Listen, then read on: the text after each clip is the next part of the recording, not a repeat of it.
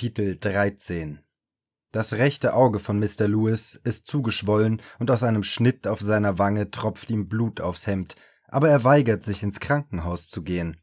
Deshalb wurde Daddys Büro zu einem Behandlungsraum umfunktioniert und Mama versorgt dort mit seiner Hilfe Mr. Lewis. Ich lehne am Türrahmen, Devonte steht noch ein Stück weiter weg im Laden. Puh, die mussten zu fünft auf mich losgehen, bis sie mir gewachsen waren, sagt Mr. Lewis. Zu fünft! Gegen einen kleinen alten Mann! Ist das nicht ein Ding? Ein Ding ist, dass sie noch am Leben sind, sage ich. Snitches get stitches, sagt man bei uns, aber das gilt für King Lords eigentlich nicht. Die bringen Verräter eher gleich ins Grab. Mama dreht Mr. Lewis Kopf zur Seite, damit sie den Schnitt auf seiner Wange besser sehen kann. Da hat sie recht. Sie können echt von Glück sagen, Mr. Lewis. Das muss nicht mal genäht werden. Puh, den hat mir King höchstpersönlich verpasst, sagt er. Er ist aber reingekommen, als die anderen mich schon zu Fall gebracht hatten. Mieses Arschloch. Sieht schon aus wie ein schwarzes Michelin-Männchen. Ich schnaube. Das ist nicht komisch, sagt Daddy. Ich habe Ihnen doch gesagt, dass Sie es Ihnen heimzahlen werden. Und ich habe dir gesagt, dass ich keine Angst habe. Wenn das schon das Schlimmste ist, was die tun können, dann ist das gar nichts. Nein, das ist nicht das Schlimmste, sagt Daddy. Die hätten sie umbringen können. Ich bin nicht derjenige, den sie tot sehen wollen. Er streckt seinen fetten Finger in meine Richtung, schaut aber an mir vorbei Devante an. Um den solltet ihr euch Sorgen machen. Ich hab ihn dazu gebracht, sich zu verstecken, bevor sie reinkamen. Aber King meinte, er wüsste, dass du dem Jungen hilfst und dass er ihn umlegt, wenn er ihn in die Finger kriegt. Devante fährt mit aufgerissenen Augen zurück. Innerhalb von höchstens zwei Sekunden packt Daddy Devante am Hals und knallt ihn gegen den Tiefkühler. Was zur Hölle hast du getan? Devante strampelt und zuckt und versucht, Daddys Hand von seinem Hals wegzuzerren. Daddy, nicht! Sei still! Er wendet seine wütenden, funkelnden Augen nicht von Devante. Ich habe dich in mein Haus aufgenommen und du hast mir nicht ehrlich gesagt, warum du dich versteckst. King würde dich nicht tot sehen wollen, außer du hättest echt was angestellt. Also, was hast du getan? Maverick! Mama zieht den Namen scharf auseinander. Lass ihn los. Wie soll er was erklären, während du ihn wirkst? Daddy lässt los und Devante beugt sich, nach Luft schnappend, vornüber. Fass mich nicht nochmal an, keucht er. Sonst, verhöhnt ihn Daddy. Red gefälligst. Mann, das ist echt keine große Sache. King spinnt. Meint er das ernst? Was hast du getan? frage ich. Devante rutscht auf den Boden und versucht, wieder zu Atem zu kommen. Ein paar Sekunden lang blinzelt er heftig, dann verzieht er das Gesicht und plötzlich heult er los wie ein Baby. Mir fällt nichts anderes ein, als mich vor ihn hinzusetzen. Wenn Khalil so heulte, weil seine Mama mal wieder Mist gebaut hatte, habe ich immer seinen Kopf angehoben. Jetzt hebe ich Devantes Kopf ein Stückchen. Ist schon gut, sage ich. Das hat bei Khalil immer funktioniert. Es klappt auch bei Devante. Er hört auf, so heftig zu weinen und sagt, ich habe King so ungefähr fünf Riesen geklaut. Verdammt, stöhnt Daddy. Warum zum Teufel, Mann? Ich musste doch meine Familie von hier wegbringen. Ich wollte mich doch um diese Typen kümmern, die Delvin umgelegt hatten und Scheiße nochmal, damit hätte ich mir ein paar GDs auf den Hals gehetzt. Ich war sowieso schon ein Todgeweihter, 100 pro. Ich wollte nicht, dass meine Mama und meine Schwestern da reingerieten. Also habe ich ihnen Bustickets besorgt und sie aus der Stadt geschafft. Darum kriegen wir deine Mama nicht ans Telefon, kombinierte Mama. Tränen laufen über sein Gesicht. Sie wollte sowieso nicht, dass ich mitkomme. Hat gesagt, sie würden meinetwegen nur umgebracht. Noch bevor sie weg sind, hat sie mich rausgeschmissen. Er sieht Daddy an. Big Maeve, äh, es tut mir leid. Ich hätte es dir gleich sagen sollen. Ich habe meine Meinung geändert und will diese Typen nicht mehr umbringen, aber jetzt will King mich tot sehen. Bitte bring mich nicht zu ihm. Ich tu alles, bitte. Boah, wehe! Mr. Lewis humpelt aus Daddys Büro. Hilf dem jungen Maverick! Daddy starrt an die Decke, als wolle er Gott fluchend herausfordern. Daddy, bettle ich. Na gut, komm, Vontae. Big Maeve, jammert er, es tut mir so leid, bitte. Ich bring dich nicht zu King, aber wir müssen dich hier wegschaffen. Sofort. 40 Minuten später halten Mama und ich hinter Daddy und Devonte in Onkel Carlos Einfahrt. Mich überrascht, dass Daddy überhaupt weiß, wie man hierher kommt. Er fährt nämlich nie mit. Niemals. An keinem einzigen Feiertag oder Geburtstag. Wahrscheinlich will er Nana und ihr Mundwerk vermeiden. Mama und ich steigen aus dem Wagen, während Daddy und Devonte aus dem Truck klettern. Hier bringst du ihn her? fragt Mama. In das Haus meines Bruders? Ja, sagt Daddy, als sei das keine große Sache. Onkel Carlos kommt aus der Garage und wischt sich das Öl mit einem von Tante Pams guten Handtüchern von den Händen. Eigentlich sollte er gar nicht zu Hause sein.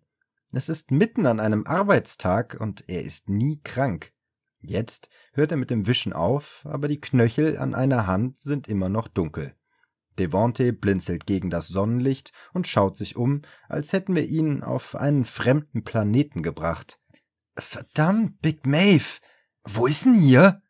Wo sind wir hier? verbessert Onkel Carlos ihn und streckt ihm seine Hand entgegen. Carlos, du musst Devonte sein. Devonte starrt auf die Hand. Überhaupt keine Manieren. Woher weißt du, wie ich heiße? Onkel Carlos lässt seine Hand fallen. Maverick hat mir von dir erzählt. Wir haben abgemacht, dass du herkommen sollst. Ach, sagt Mama mit einem gekünstelten Lachen. Maverick hat abgemacht, dass er herkommen soll. Aus schmalen Augen starrt sie Daddy an. Es wundert mich, dass du überhaupt hergefunden hast, Maverick. Daddys Nasenflügel beben. Wir reden später. Komm mit, sagt Onkel Carlos. Ich zeig dir dein Zimmer. Devonte starrt das Haus mit großen Augen an. Was machst du, dass du dir so ein Haus leisten kannst? Meine Güte, bist du neugierig, sage ich. Onkel Carlos lacht leise. Schon gut, Star. Meine Frau ist Chirurgin und ich äh, bin Detective. Devonte erstarrt. Dann dreht er sich zu Daddy um. What the fuck? Du hast mich zu einem Kopf gebracht? Achte auf deinen Ton, sagt Daddy. Ich hab dich zu jemandem gebracht, der dir tatsächlich helfen will. Aber zu einem Kopf? Wenn die Homies das spitz kriegen, glauben sie doch, ich will sie verpfeifen. Wenn du dich vor ihnen verstecken musst, sind das nicht deine Homies, sage ich. Außerdem würde Onkel Carlos dich niemals auffordern, jemanden zu verpfeifen. Sie hat recht, sagt Onkel Carlos. Maverick ist es wirklich ernst damit, dich aus Garden Heights rauszuholen.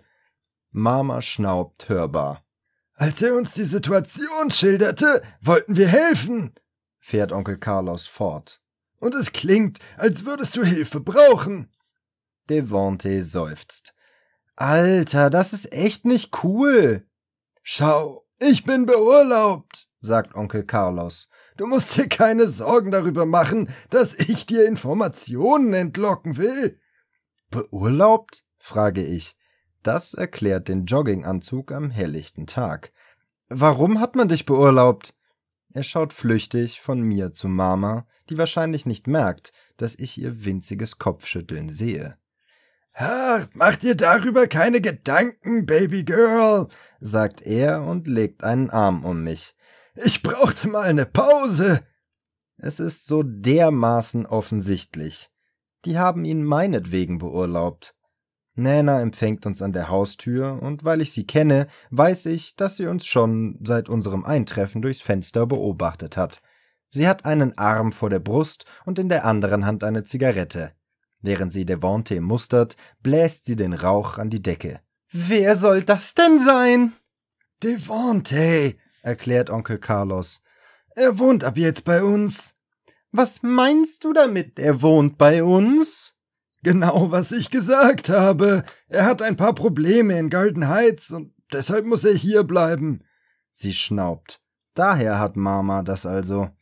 Ein paar Probleme, was? Sag die Wahrheit, Junge. Sie senkt ihre Stimme und fragt mit misstrauisch zusammengekniffenen Augen, Hast du einen umgebracht? Mama, sagt Mama. Was denn? Ich frage lieber nach, bevor ich mit einem Mörder im Haus schlafe und eines Morgens tot aufwache. Was zum Tod kannst du gar nicht aufwachen, sage ich. Kleines, du weißt schon, wie ich das meine. Sie gibt die Haustür frei. Dann finde ich mich im Angesicht des Herrn wieder und weiß nicht, was passiert ist. Als ob du in den Himmel kommen würdest, murmelt Daddy.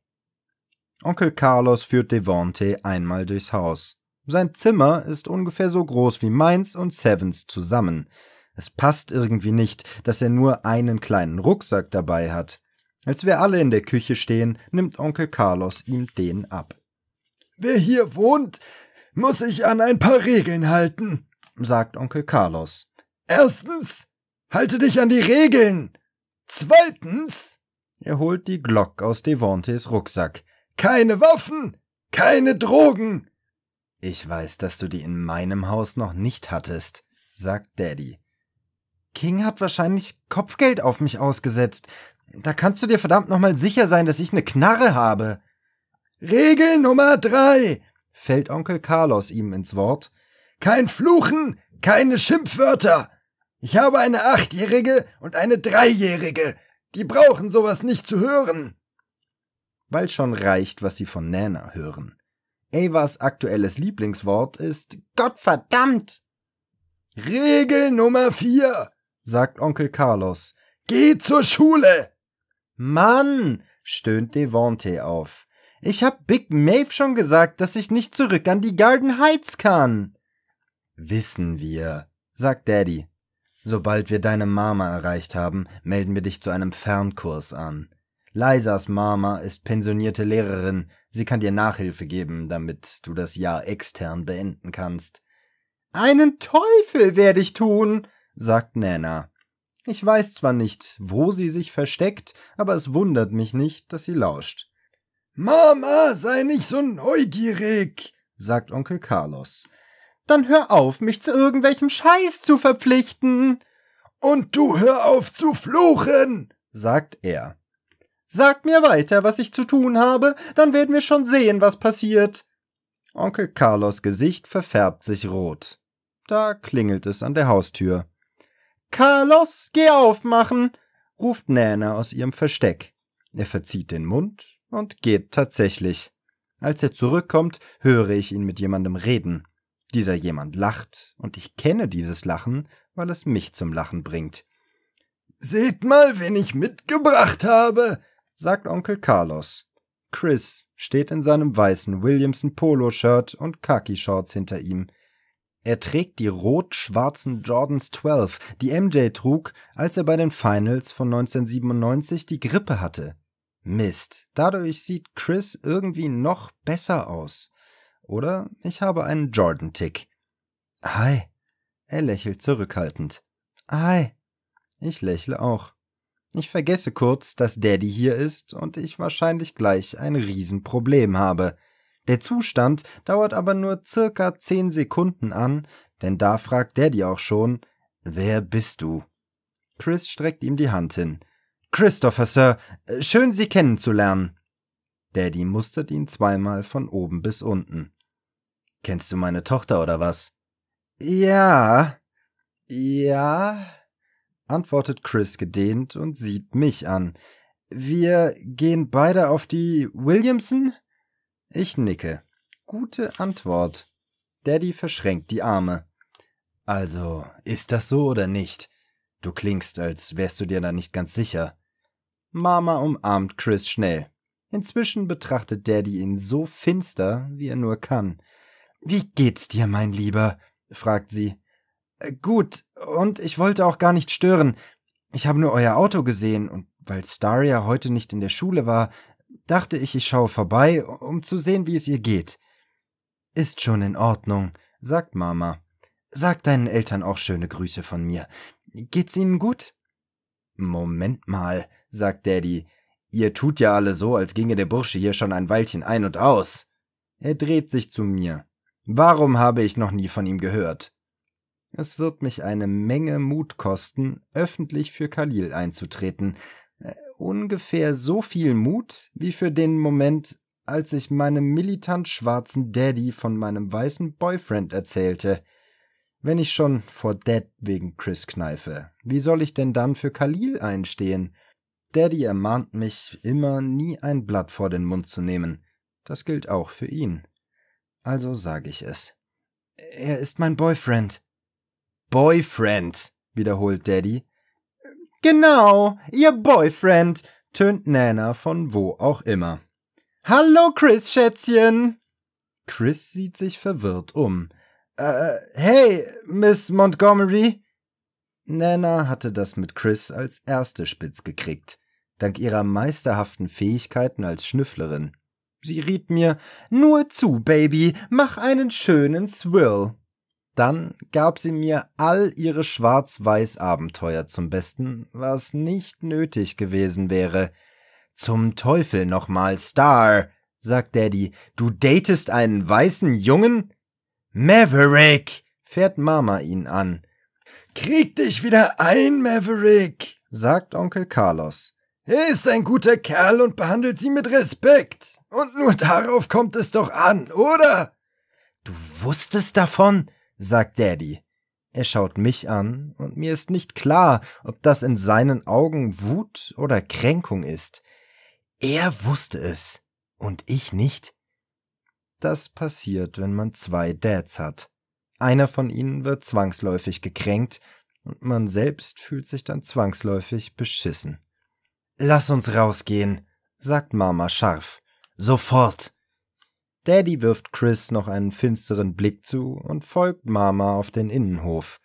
Die Türen haben zwar dickes Glas, aber ich höre trotzdem, wie sie ihn zusammenstaucht. Komm mit, Devonte, sagt Onkel Carlos.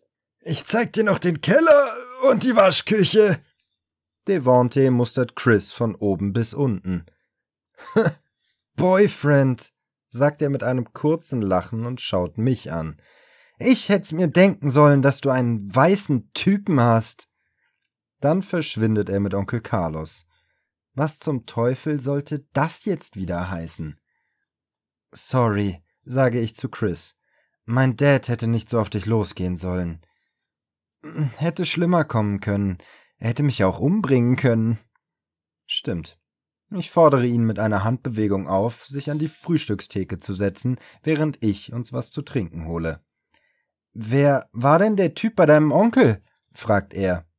Tante Pam hat nicht eine einzige Limo im Haus, nur Saft, Wasser und Mineralwasser. Bestimmt hat Nana aber einen Vorrat an Sprite und Coke in ihrem Zimmer. Devonte, sage ich und entscheide mich für zwei kleine Tetrapacks Apfelsaft. Er hat Ärger mit den Kinglords und Daddy hat ihn hergebracht, damit er bei Onkel Carlos wohnt. Warum hat er mich so angeglotzt? Krieg dich wieder ein, Maverick. Er ist weiß, schreit Mama im Innenhof. Weiß, weiß, weiß. Chris wird rot und röter und noch röter. Ich gebe ihm ein Saftpäckchen. Deshalb hat Devonte dich so angestarrt, weil du weiß bist. Okay. Und das klingt eher nach einer Frage als nach einer Feststellung. Ist das sowas typisch Schwarzes, das ich sowieso nicht verstehe? Okay, Babe, reden wir mal Klartext. Wenn du jemand anders wärst, würde ich dich dafür jetzt sowas von schief angucken. Für was denn? Typisch schwarz? Genau. Aber ist es das denn nicht? Nicht wirklich, sage ich das ist nichts exklusiv Schwarzes, weißt du? Die Begründungen sind vielleicht andere, aber mehr nicht. Haben deine Eltern kein Problem damit, dass wir zusammen sind? Ich würde es nicht ein Problem nennen, sagt Chris, aber wir haben schon drüber gesprochen. Dann ist es also nichts typisch Schwarzes, was? Na, Treffer versenkt. Wir sitzen nebeneinander in der Küche und er erzählt mir in allen Einzelheiten vom heutigen Schultag. Keiner hat geschwänzt, weil die Polizei da war und nur auf irgendeine Eskalation gewartet hat. Haley und Maya haben nach dir gefragt, sagt er. Ich habe ihnen gesagt, du bist krank. Sie hätten mir auch schreiben und sich direkt bei mir erkundigen können. Ich glaube, sie haben ein schlechtes Gewissen wegen gestern. Vor allem Haley. Weiße Schuldgefühle. Er zwinkert mir zu. Ich muss lachen. Mein weißer Boyfriend redet von weißen Schuldgefühlen. Mama schreit. Und ich finde es toll, dass du darauf bestehst, ein fremdes Kind aus Golden Heights rauszubringen, aber deine sollen in diesem Höllenloch bleiben. Willst du sie etwa in der Vorstadt mit all dem anderen Bullshit Fake haben? sagt Daddy. Wenn das hier Fake ist, Baby, dann würde ich mich jeden einzelnen Tag gegen die Realität entscheiden. Ich habe es nämlich satt. Die Kids gehen hier draußen zur Schule. Ich bringe sie hier in die Kirche. Ihre Freunde leben hier. Wir können es uns leisten, herzuziehen, aber du willst unbedingt in diesem Chaos bleiben. Weil sie die Leute in Garden Heights wenigstens nicht wie Dreck behandeln. Das tun sie doch. Und warte mal, was passiert, wenn King Devontae nicht finden kann. Bei wem glaubst du, wird er als erstes suchen? Bei uns. Ich habe dir schon gesagt, dass ich das regle, sagt Daddy. Wir werden nicht umziehen. Das steht einfach nicht zur Debatte. Ach, wirklich? Wirklich. Chris lächelt mich zaghaft an. Heikles Thema. Meine Wangen werden heiß und ich bin froh, dass man bei meiner Hautfarbe das Rot nicht so sieht. Ja, heikel. Er nimmt meine Hand und tippt mit seinen Fingerspitzen einzeln gegen meine. Dann verschränkt er unsere Finger und wir lassen die Arme zwischen uns baumeln. In dem Moment kommt Daddy rein und knallt die Tür hinter sich zu. Sofort fällt sein Blick auf unsere Hände. Chris lässt nicht los. Pluspunkt für meinen Freund. Wir reden später, Star. Damit marschiert Daddy hinaus. Wenn das hier eine romantische Komödie wäre, sagt Chris, dann wärst du Zoe Saldana und ich Ashton Kutscher. Hä? Er nippt an seinem Saft. Dieser alte Film, Guess Who, meine Tochter kriegst du nicht. Ich hab ihn zufällig gesehen, als ich vor ein paar Wochen die Grippe hatte. Zoe Saldana datet Ashton Kutscher. Ihrem Dad gefällt es nicht, dass sie mit einem weißen Typen zusammen ist. Das sind wir.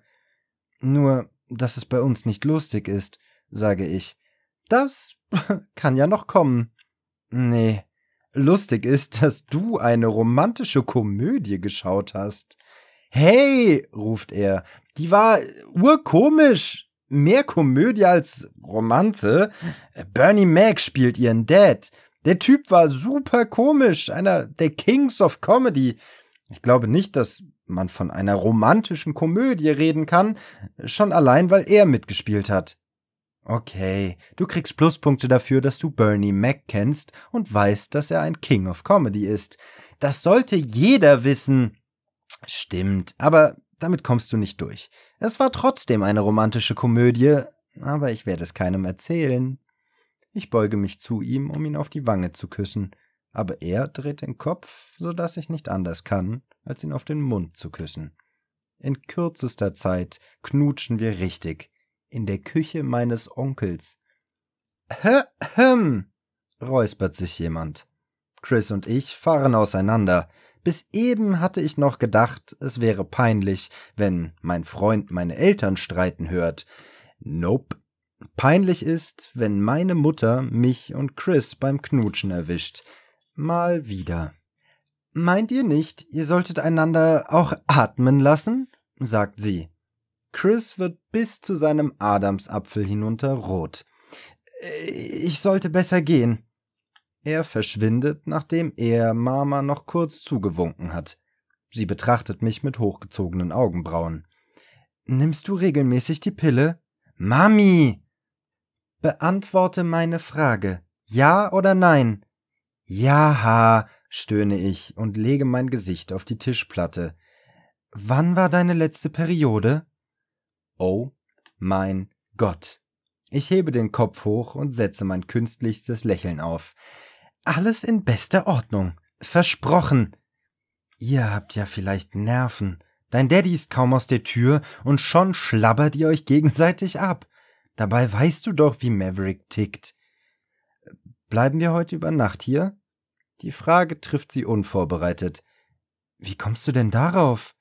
Weil du und Daddy eine Meinungsverschiedenheit hatten, mehr nicht. Eine Meinungsverschiedenheit, die die ganze Nachbarschaft gehört hat. Und da war ja noch die andere an dem Abend neulich.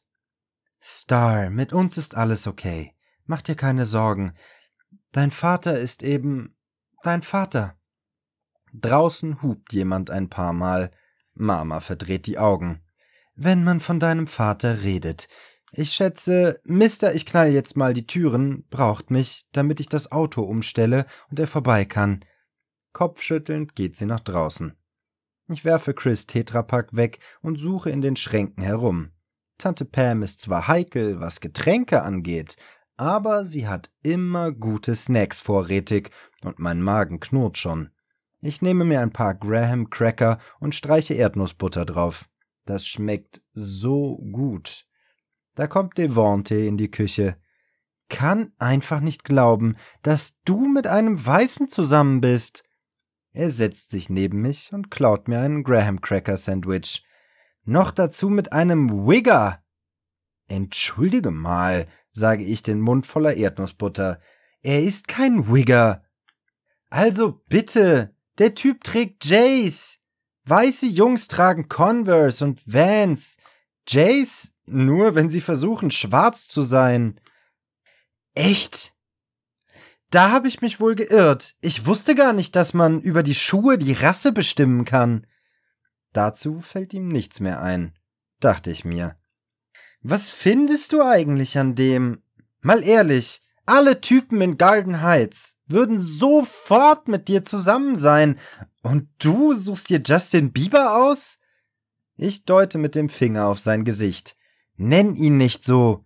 Und was für Typen? Keiner in Garden Heights interessiert sich für mich. Es kennt ja kaum jemand meinen Namen. Verdammt, sogar du hast mich Big Maves Tochter, die im Laden jobbt, genannt. Weil du dich nie blicken lässt, sagt er. Hab dich nie auf einer Party oder so gesehen.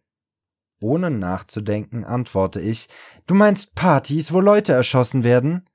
Sobald ich den Satz ausgesprochen habe, fühle ich mich schrecklich. Äh, oh mein Gott, tut mir leid, das hätte ich nicht sagen sollen. Er schaut auf die Tischplatte. Ist okay. Mach dir keine Gedanken. Stumm knabbern wir die Graham Cracker. Ähm, sage ich. Das Schweigen ist quälend. Onkel Carlos und Tante Pam sind ziemlich cool. Ich glaube, es wird dir hier gefallen. Er beißt in den nächsten Cracker. Manchmal können sie altmodisch sein, aber eigentlich sind sie lieb. Sie werden auf dich aufpassen. Wie ich Tante Pam kenne, wird sie dich wie Ava und Daniel behandeln. Onkel Carlos wahrscheinlich tougher. Aber wenn du dich an die Regeln hältst, passiert dir nichts. Khalil hat manchmal von dir geredet, sagt Devonte. Hä? Du hast doch gesagt, keiner würde dich kennen. Aber Khalil hat von dir gesprochen. Ich wusste nicht, dass du Big Maves Tochter bist. Die, also, ich wusste nicht, dass du gemeint warst, sagt er. Aber er hat von seiner Freundin Star gesprochen und gesagt, du wärst das coolste Mädchen, das er kennt. Ein bisschen Erdnussbutter bleibt mir im Hals stecken, aber das ist nicht der einzige Grund, warum ich schlucke. Woher kanntest du. Ach so, ihr wart ja beide King Lords. Ehrlich, immer wenn ich daran denke, dass Khalil in dieses Leben reingerutscht ist, fühlt es sich an, als würde ich ihn noch einmal sterben sehen. Klar, Khalil selbst ist wichtiger als die Dinge, die er getan hat, aber es wäre gelogen, wenn ich behauptete, es würde mir nichts ausmachen oder mich nicht enttäuschen. Er hätte es besser wissen müssen. Da sagt Devonte, Khalil war kein King Lord Star. Aber bei der Beerdigung hat doch King eine Bandana auf, um das Gesicht nicht zu verlieren, sagt Devonte. Er hat versucht, Khalil zum Beitritt zu bewegen, aber der hat abgelehnt. Dann legt ihn ein Kopf um. Also war klar, dass alle Homies jetzt auf seiner Seite sind. Da wollte King nicht zugeben müssen, dass Khalil ihn hat auflaufen lassen. Deshalb war es ihm ein Anliegen, dass die Leute glauben, Khalil hätte zu den Kinglords gehört. Moment, sage ich, woher weißt du, dass ihr King einen Korb gegeben hat? Ja, das hat Khalil mir mal im Park erzählt. Da waren wir zusammen postieren. Dann habt ihr da zusammen Drogen verkauft? Ja, für King. Oh.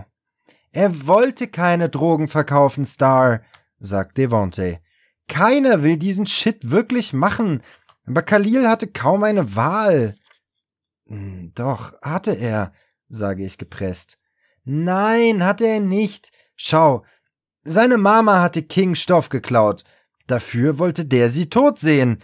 Khalil hat das mitgekriegt und angefangen zu dealen, um die Schulden zu begleichen. Was? Ja, das ist der einzige Grund, warum er mit dem Shit angefangen hat. Weil er versucht hat, sie zu retten. Ich kann es nicht glauben. Aber dann glaube ich es doch. Das war so typisch Khalil. Egal, was seine Mama tat, er blieb immer ihr Ritter und wollte sie beschützen. Was ich getan habe, war noch schlimmer, als ihn zu verleugnen. Ich habe das Schlechteste von ihm gedacht. Wie alle anderen. Sei nicht sauer auf ihn, sagt Devonte, und seltsamerweise höre ich gleichzeitig in meinem Kopf auch Khalil, wie er mich bittet, nicht sauer zu sein. Bin ich nicht. Ich seufze. Okay, ich war ein bisschen sauer. Und ich hasse es einfach, dass er als Thug bezeichnet wird und all den Mist, obwohl die Leute gar nicht die ganze Geschichte kennen. Du hast gesagt, er war kein Gangbanger. Und wenn jeder wüsste, warum er Drogen verkauft hat, dann. dann würden sie nicht denken, dass er so ein Thug war wie ich. Verdammt. Ich wollte nicht. Schon gut, sagt er. Ich verstehe das. Irgendwie bin ich ja wohl ein Thug. Ich habe eben getan, was ich tun musste. Die Kinglords waren das, was für Delvin und mich einer Familie noch am nächsten kam. Aber deine Mama, sage ich, und deine Schwestern, die konnten sich nicht so um uns kümmern, wie Kinglords das tun, sagt er. Im Gegenteil, Delvin und ich haben uns um sie gekümmert. Und mit den Kinglords hatten wir eine ganze Menge Leute hinter uns, egal was kam. Die kauften uns Klamotten und den ganzen Scheiß, den unsere Mama sich nicht leisten konnte. Sie achteten sogar darauf, dass wir was zu essen kriegten. Er schaut auf die Tischplatte. Es war einfach cool, dass zur Abwechslung mal jemand auf uns aufpasste, anstatt andersrum. Oh. Eine bescheuerte Antwort, schon klar. Wie gesagt, keiner dealt gern mit Drogen. Ich hab den Scheiß gehasst. Echt jetzt. Aber ich hasste es eben auch mit anzusehen, dass meine Mama und meine Schwester nichts zu essen hatten. Weißt du? Ich weiß es nicht. Ich habe sowas nie erleben müssen. Dafür haben meine Eltern gesorgt. Dann hast du es gut, sagt er. Mir tut es trotzdem leid, wenn die Leute so über Khalil reden. Er war wirklich einer von den Guten. Hoffentlich kommt eines Tages die Wahrheit ans Licht. Ja, sage ich leise. Devonte, Khalil, keiner von beiden hatte eigentlich eine Wahl. Wäre ich an ihrer Stelle gewesen, ich bin mir nicht sicher, ob ich es besser gemacht hätte. Dann bin ich wohl auch ein Thug. Ich geh mal eine Runde spazieren, sage ich und stehe auf. In meinem Kopf herrscht ein unglaubliches Durcheinander. Du kannst die restlichen Cracker mit Erdnussbutter haben. Dann gehe ich raus ohne zu wissen wohin. Ich weiß gerade sowieso nicht mehr besonders viel.